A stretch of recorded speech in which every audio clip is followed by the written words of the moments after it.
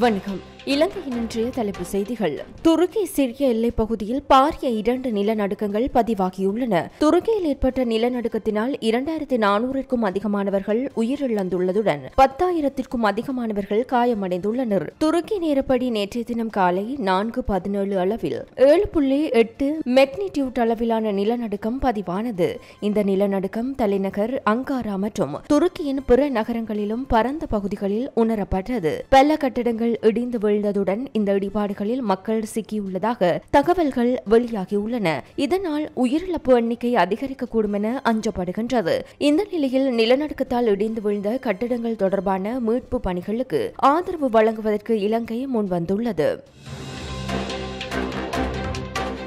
துருக்கியில் பாரிய நில அதிர்வுகள் ஏற்பட்டுள்ள நிலையில் அங்குள்ள இலங்கையர்கள் பாதுகாப்பாக உள்ளதாக அறிவிக்கப்பட்டுள்ளது. அங்கு ஒன்பது இலங்கையர்கள் உள்ளதாகவும் அவர்களில் எட்டு பேருடன் தொடர்பை ஏற்படுத்தியுள்ளதாகவும் துருக்கிக்கான இலங்கை தூதுவர் அசாந்தி திசாநாயக்க தெரிவித்துள்ளார். அவர்களுடன் தொடர்ந்தும் இலங்கை தூதரகம் தொடர்பில் உள்ளதாகவும் அவர் குறிப்பிட்டுள்ளார். மற்றும் ஒரு நபரான பெண்ணுடன் தொடர்பை ஏற்படுத்த முயற்சிகள் இடம்பெற்று வருவதுடன் நில அதிர்வில் சேதமடைந்த கட்டடத்தில் குறித்த நபர் இருக்கவில்லை எனவும் துருக்கிக்கான இலங்கை தூதுவர் தெரிவித்துள்ளார். முன்னதாக குறித்த பெண் சேதமடைந்த கட்டடத்தில் இருந்ததாக தகவல்கள் வெளியாகியிருந்த போதிலும் அவர் அங்கு இருக்கவில்லை என தகவல்கள் கிடைக்கப்பட்டுள்ளதாகவும் துருக்கிக்கான இலங்கை தூதுவர் குறிப்பிட்டுள்ளார். இலங்கையில் நிலவும் பிரச்சினைக்கு தீர்வு காண ஈழ தமிழர்களுக்கு சுதந்திர வாக்கெடுப்பு நடத்த வேண்டும் என அமெரிக்காவின் ஆறு தமிழ் அமைப்புகள் கூட்டாக அழைப்பு விடுத்துள்ளன. இது தொடர்பில் அவை அமெரிக்க பிரதிநிதிகள் சபைக்கு கோரிக்கை கடிதம் ஒன்றை அனுப்பியுள்ளன. பலவந்தமாக காணாமல் ஆக்கப்பட்ட தமது உறவுகளின் கதி என்ன என்பதை அறிய கோரி காணாமல் ஆக்கப்பட்டவர்களின் தமிழ் குடும்பங்கள் வீதியோர போராட்டங்களை ஆரம்பித்து ஆறு வருடங்கள் நிறைவடைந்துள்ளன. இந்த நிலையில் தமிழ் மக்களுக்கு எதிரான இனப்படுகொலைக்காக இலங்கை அரசை சர்வதேச நீதிமன்ற நீதிமன்றத்திற்கு அனுப்புமாறு ஆறு முக்கிய தமிழ் அமைப்புகளும் இந்த கடிதத்தில் அமெரிக்காவை கோரியுள்ளன.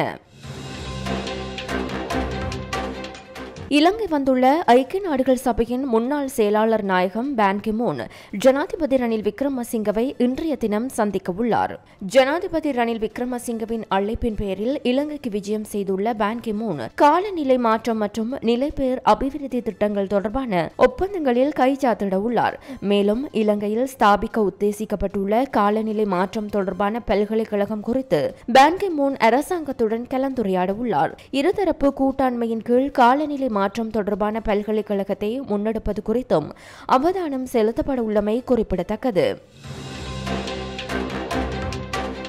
மார்ச் மாதம் முப்பத்தி ஓராம் தேதிக்கு முன்னர் சர்வதேச நாணய நிதியத்தின் கடனை பெற்றுக்கொள்ள வேண்டும் என வெளிவிவகார அமைச்சர் அலிஸ் அஃப்ரி தெரிவித்துள்ளார். அது தவறும் பட்சத்தில் மோசமான நாட்டின் பொருளாதார நிலைமை மேலும் மோசமடையும் என வெளிவிவகார அமைச்சர் அலிஸ் அஃப்ரி தெரிவித்துள்ளார். சர்வதேச தொலைக்காட்சி ஒன்றில் இடம்பெற்ற கலந்துரையாடலில் கருத்து தெரிவிக்கும் போதே அவர் இதனை குறிப்பிட்டார். திட்டமிட்ட வகையில் உள்ளூராட்சி மன்ற சபை தேர்தலுக்கான வாக்கெடுப்பு எதிர்வரும் மார்ச் மாதம் ஒன்பதாம் திகதி இடம்பெறாது என நாடாளுமன்ற உறுப்பினர் வாசுதேவ நாணயக்கார தெரிவித்துள்ளார். தேர்தலுக்கு அரசாங்கம் முழுமையாக தயார் இல்லை என்பதால் தேர்தல் பிற்போடப்படும். சுதந்திர மக்கள் கூட்டணியிலிருந்து சுதந்திர கட்சியின் தலைவர் மைத்திரிபால சிறிசேன விலகி செயற்படுகின்றார் என நாடாளுமன்ற உறுப்பினர் வாசுதேவ நாணயக்கார தெரிவித்தார். உள்ளூராட்சி மன்ற தேர்தலுக்கு தயாராக உள்ளோம். உள்ளூராட்சி மன்ற தேர்தலுக்கான வாக்கெடுப்பை எதிர்வரும் மார்ச் மாதம் ஒன்பதாம் தேதி நடத்த தேசிய தேர்தல்கள் ஆணைக்குழு தீர்மானித்துள்ளது. இருப்பினும் திட்டமிட்ட வகையில் மார்ச் ஒன்பதாம் தேதி வாக்கெடுப்பு இடம்பெறாது எனவும் அவர் மேலும் குறிப்பிட்டுள்ளார். தன்னை கொல்லாமல் கொள்வதற்கு சிலர் முயற்சிப்பதாக ஸ்ரீலங்கா சுதந்திர கட்சியின் தலைவரும் முன்னாள் ஜனாதிபதியுமான மைத்ரிபால சிறிசேன தெரிவித்துள்ளார். தனக்கு சர்வதேச தொடர்புகள் இருப்பதனாலேயே தன்னை இல்லாது செய்வதற்கு சிலர் முயற்சிப்பதாக அவர் குற்றம் சுமத்தியுள்ளார். நெல்சன் மண்டேலாவை இருபத்தி ஏழு வருடங்கள் சிறையில் அடைத்தனர். அவர் மீண்டு வந்து நாட்டின் ஜனாதிபதியானார். பண்டார நாயக்காவை கொலை செய்தனர். ஸ்ரீமாவோ அம்மையாரின் குடியுரிமையை பறைத்தனர் தற்போது என்னை அழிக்க பார்க்கின்றனர். எனக்கு எதிராக கருத்துக்களை வெளியிடுபவர்களின் பின்னணியில் வேறு நிகழ்ச்சி நிரல் உள்ளதாக மைத்திரிபால சிறிசேன மேலும் தெரிவித்துள்ளார். இலங்கையின் சுதந்திர தின நாளை கரி நாளாக பிரகடனப்படுத்தி கடந்த நான்காம் திகதி வடக்கு கிழக்கு இணைந்த பல்கலைக்கழக மாணவர்களினால் யாழ்ப்பாண பல்கலைக்கழகத்திலிருந்து முன்னெடுக்கப்பட்ட தமிழ் எழுச்சி பேரணி திருகோணமலை நகரினை சென்றடைந்துள்ளது. வடக்கு கிழக்கு பிரதேசத்தில் உள்ள தமிழர்கள் எதிர்கொள்ளும் பிரச்சினைகள் மற்றும் வடக்கு கிழக்கு இணைந்த தமிழர்களின் தாயகத்தினை வலியுறுத்தி இந்த எழுச்சி பேரணி முன்னெடுக்கப்பட்டு வருகின்றது. பல்கலைக்கழக மாணவர்கள் சிவில் சமூக செயற்பாட்டாளர்கள் பொது அமைப்புகள் என பல்வேறு தரப்பினரும் இணைந்து இந்த போராட்டத்தினை முன்னெடுத்து வருகின்றனர். இந்த பேரணிக்கு ஆதரவு தெரிவிக்கும் வகையில் திருகோணமலையில் உள்ள சிவில் சமூக செயற்பாட்டாளர்கள் பொது அமைப்புகளின் பிரதிநிதிகள் தமிழ் தேசிய ஆதரவாளர்கள் என பலரும் கலந்து கொண்டு ஆதரவு வழங்கினர். இந்த நிலையில் குறித்த பேரணி இன்றைய தினம் மட்டக்களப்பு நகரை சென்றடைய உள்ளது. திருகோணமலை சிவன் ஆலயத்தை வந்தடைந்திருக்கிறது ஆலய வழிபாடுகளை தொடர்ந்து இங்கே ஈகச்சுடர் ஏற்றப்பட்டு அகவணக்கம் செலுத்தப்பட்டது. தொடர்ந்து இந்த பேரணி திருகோணமலை மாவட்ட சட்டத்தரணிகள் இந்த பேரணியிலே இணைந்து கொள்கிறார்கள். திருகோணமலை மாவட்ட சட்டத்தரணிகளோடு இணைந்து கொண்டு இந்த பேரணி தொடர்ந்து நடைபெற இருக்கிறது. இந்த பேரணி இன்றைய தினம் விரைகளை அடைந்து அங்கே நிறைவடைய இருக்கிறது. நாளைய தினம் காலையிலே வெறிகளிலிருந்து மாபெரும் எழுச்சியாக இந்த பேரணி நடைபெற இருக்கிறது. கைது செய்யப்பட்ட சமூக ஊடக செயற்பாட்டாளர் தர்ஷன் ஹந்துங்கொடவுக்கு கோட்டை நீதவான் நீதிமன்றம் பிணை வழங்கியுள்ளது. துபாயிலிருந்து நாடு திரும்பிய போது குற்றப்புலனாய்வு பிரிவினரால் கட்டுநாயக்க பண்டார் நாயக்க சர்வதேச விமான நிலையத்தில் சமூக ஊடக செயற்பாட்டாளர் தர்சன ஹந்துங்கொட நேற்றைய தினம் காலை கைது செய்யப்பட்டார். பின்னர் அவர் கொழும்பு கோட்டை நீதவான் நீதிமன்றத்தில் நேற்றைய தினம் ஆஜர்படுத்தப்பட்ட நிலையில் அவருக்கு பிணை வழங்கப்பட்டுள்ளது. சமூக ஊடகங்களில் வன்முறையை வெளிப்படுத்தும் காணொலி வெளியானது தொடர்பில் குற்றப்புலனாய்வு பிரிவினரிடம் வாக்குமூலம் வழங்க தவறிய குற்றச்சாட்டின் பேரில் தர்சன ஹந்தன்கொட கைது செய்யப்பட்டமை குறிப்பிடத்தக்கது. ஒன்பதாவது நாடாளுமன்றத்தின் நான்காவது கூட்டத்தொடர் ஜனாதிபதி ரணில் விக்ரமசிங்க தலைமையில் நாளைய தினம் வைபவ ரீதியாக ஆரம்பித்து வைக்கப்பட உள்ளது. இது தொடர்பான ஒத்திகை நாடாளுமன்ற வளாகத்தில் நேற்றைய தினம் நடைபெற்றதுடன் கோட்டை ஜனாதிபதி மகளிர் கல்லூரி மாணவியர் உள்ளிட்ட பலர் இந்த ஒத்திகையில் பங்கேற்றனர். அரசியல் அமைப்பின் முப்பத்தி மூன்றாவது உறுப்புரிமையில் வழங்கப்பட்டுள்ள அதிகாரத்திற்கமைய ஜனாதிபதி ரணில் விக்ரமசிங்க நாளை காலை பத்து மணிக்கு நாடாளுமன்றத்தில் அரசாங்கத்தின் கொள்கை பிரகடனத்தை முன்வைக்க உள்ளார். ஜனாதிபதி பாராளுமன்றத்திற்கு வருகை தரும் நிகழ்வை மிகவும் எளிமையான முறையில் நடத்துமாறு வழங்கிய ஆலோசனைக்கமைய நடவடிக்கை எடுக்கப்பட்டிருப்பதாகவும் இதற்கமைய மரியாதை வேட்டுக்கள் தீர்த்தல் மற்றும் வாகன தொடரணி என்பன இடம்பெறாது என நாடாளுமன்ற படைக்கல சேவிதர் நரேந்திர பெர்னாந்து தெரிவித்துள்ளார். மேலும் சபாநாயகர் மஹிந்தயாப்பா அபேவர்த்தன மற்றும் அவருடைய பாரியாரின் வருகையை தொடர்ந்து பிரதமர் தினேஷ் குணவர்த்தனவின் வருகையும் அதனைத் தொடர்ந்து ஜனாதிபதி ரணில் விக்ரமசிங்க மற்றும் முதற் பெண்மணியின் வருகையும் இடம்பெறவுள்ளது. நாளைய தினம் நாடாளுமன்ற சம்பிரதாய ஆரம்ப நிகழ்வை ஐக்கிய மக்கள் சக்தி புறக்கணிக்கும் என எதிர்பார்க்கப்படுகின்றது. ஜனாதிபதி ரணில் விக்ரமசிங்க நாளைய தினம் நிகழ்த்தவுள்ள கொள்கை விளக்க உரையை தமது கட்சியின் நாடாளுமன்ற உறுப்பினர்கள் புறக்கணிக்க உள்ளதாக பிரதி பிரதம அமைப்பாளர் நளின் பண்டார தெரிவித்துள்ளார். அத்துடன் வியாழன் மற்றும் வெள்ளிக்கிழமைகளில் நடைபெறவுள்ள ஜனாதிபதியின் கொள்கை அறிக்கை மீதான இரண்டு நாள் விவாதத்தையும் தமது கட்சி புறக்கணிக்க தீர்மானித்துள்ளதாக நளின் பண்டார குறிப்பிட்டுள்ளார். இதேவேளை உள்ளூராட்சி சபை தேர்தலுக்கான நிதி ஒதுக்கீட்டை நிறுத்த கோரும் பிரேரணையை நிராகரித்துள்ளதாக வெளியான தகவலை நிதி ராஜாங்க அமைச்சர் ரஞ்சித் சியம்பலாபுட்டிய தெரிவித்துள்ளார்.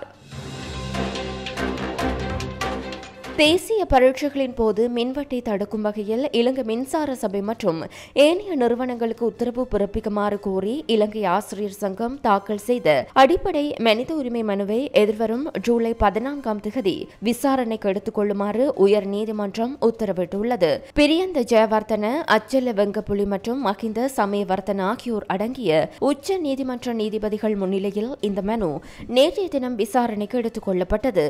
இதனையடுத்து இந்த மனுவை ஜூலை பதினான்காம் திகதி பரிசீலிக்க தீர்மானிக்கப்பட்டது. குறித்த மனுவில் பிரதிவாதியாக குறிப்பிடப்பட்டுள்ள பரீட்சைகள் ஆணையாளர் நாயகத்திற்கு அழைப்பாணை அனுப்பவும் நீதிமன்றம் உத்தரவிட்டுள்ளது. இலங்கை ஆசிரியர் சங்கத்தின் செயலாளர் ஜோசப் ஸ்டாலின் இந்த மனுவை தாக்கல் செய்துள்ளார் என்பது குறிப்பிடத்தக்கது.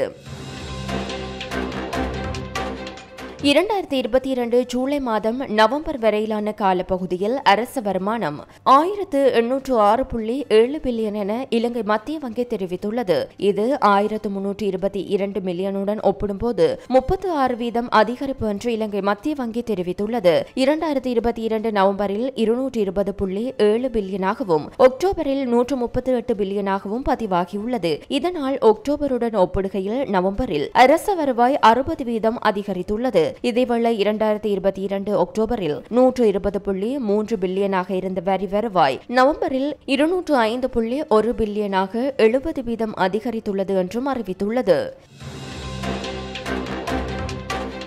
நள்ளிரவு முதல் லாஃப் சமையல் எரிவாயுவின் விலை அதிகரிக்கப்பட்டுள்ளது. இதற்கமைய பன்னிரண்டு புள்ளி ஐந்து கிலோகிராம் எரிவாயு இருநூறு ரூபாவினாலும் ஐந்து கிலோகிராம் எண்பது ரூபாவினாலும் இரண்டு கிலோகிராம் முப்பத்தி இரண்டு ரூபாவினாலும் அதிகரிக்கப்பட்டுள்ளது. இதற்கமைய பன்னிரண்டு புள்ளி ஐந்து கிலோகிராம் சமையல் எரிவாயு ஐந்தாயிரத்து இருநூற்று எண்பது ரூபாய் எனவும் ஐந்து கிலோ சமையல் எரிவாயு இரண்டாயிரத்து பன்னிரண்டு ரூபாய் எனவும் இரண்டு கிலோகிராம் கேஸ் சிலிண்டர் எண்ணூற்று நாற்பத்தி ஐந்து ரூபாவிற்கும் விற்பனை செய்யப்பட உள்ளது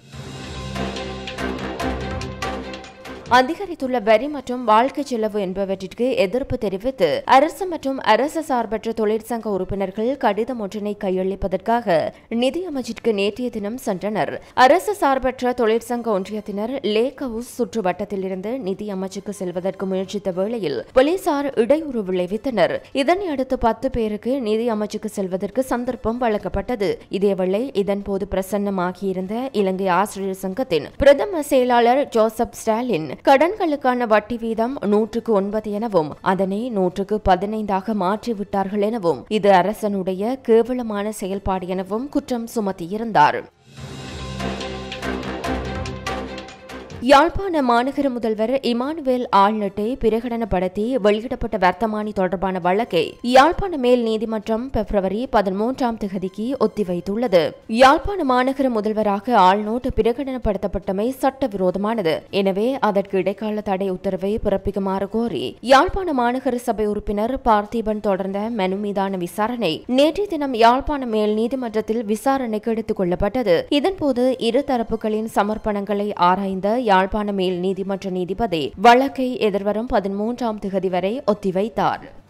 இது போன்ற பல செய்திகளை தெரிந்து கொள்ள நம்முடைய சமூக மீடியா யூடியூப் சேனலை சப்ஸ்கிரைப் செய்து அருகில் உள்ள பெல் பட்டனை கிளிக் செய்யுங்கள். மேலும் செய்திகளை உடனுக்குடன் தெரிந்து கொள்ள சமூக மீடியா டாட் காம் என்ற இணையதளத்தின் வாயிலாக எங்களுடன் இணைந்திருங்கள்.